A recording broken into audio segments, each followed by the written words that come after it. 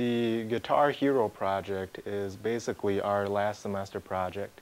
Um, in the fourth semester, you can either do a, it's kind of like a preset project where you do something in the lab, or if you come up with your own ideas, you can kind of set it up.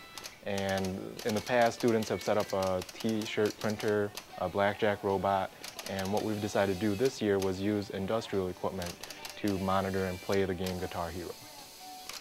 We saw other Guitar Hero robots on the internet, but none like this. They were all either watching the code, hacking the game, or being interpreted by a computer. They weren't independently operated. We pitched it to the instructors. The instructors really liked it. PR really liked it. We got financing pretty much immediately, and we were able to start planning right away. Um, there's been a huge learning curve with the project. Um, as far as the stuff that we've had hands-on experience with, know, we've had to use that as a backbone and kind of build from there. Um, it was a completely new vision camera that we were using, and a couple of the programs we've never really touched bef on before until this semester.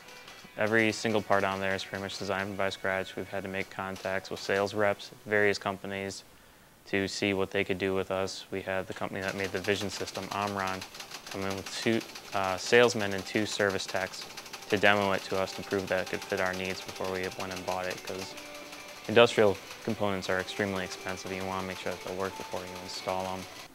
Um, CAD drawings, every the fingers and the hand are all drawn in CAD and water jetted so we have to work with the machining department and make sure that they can do everything before we actually send it to them.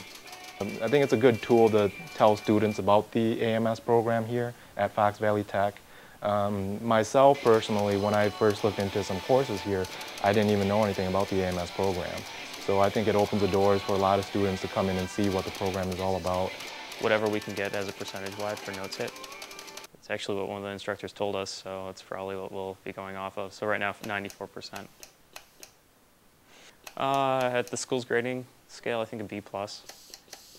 I really want the A, yes.